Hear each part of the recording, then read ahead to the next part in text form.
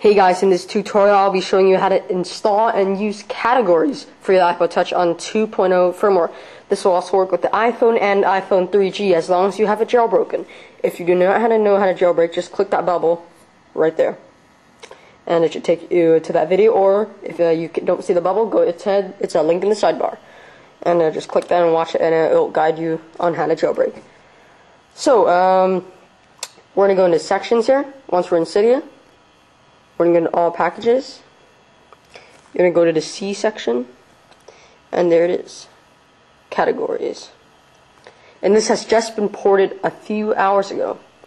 And uh, if you don't know what port means, it means to transfer the application to a newer firmware or to uh, older firmware or whatever. But, um, yeah.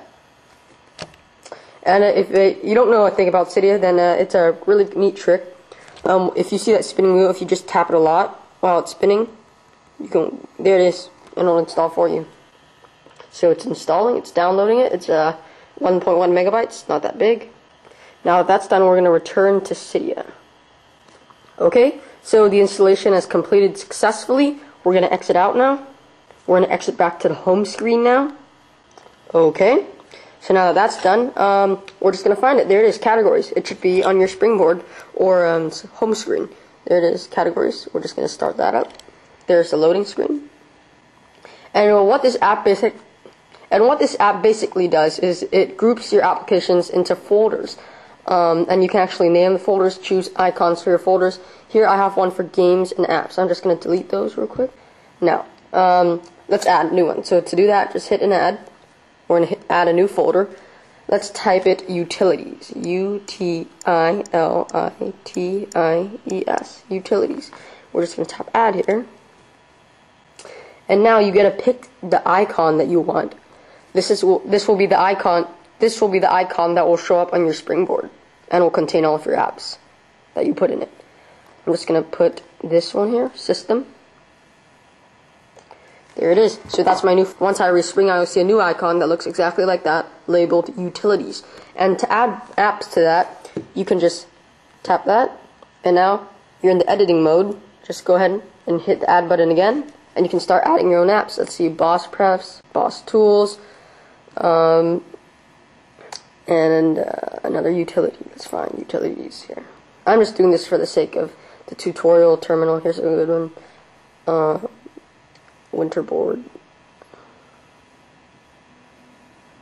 Mobile Find. And you can even add App Store apps. So that's a. And then once you're done, just hit the done button up here. And those are the apps that you have um, in that folder. And you can move them around by holding it like that.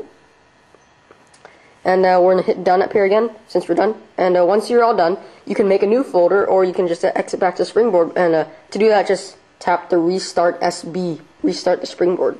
You'll see a spinning wheel, something like this. It might take a few minutes depending on how many apps you moved. Oh, and I just resprung, and there it is, utilities. Now with the systems icon that I picked. And once I launch that, I will get the amazing four icons. These are the four apps I put. You can't see the labels because my background's white, but if my background was black, you'd be able to see the letters. Um, you can actually launch your application from here too. Let's say a terminal. And there it is. It's working perfectly.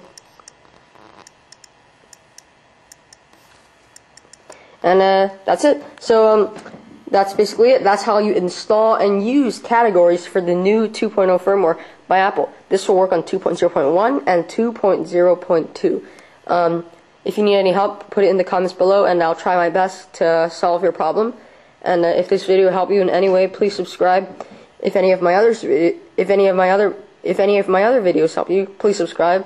And um, need any help, and uh, you want to get at me quicker, you can just go ahead and send me a quick PM. So uh, thanks for watching, and uh, have a good one.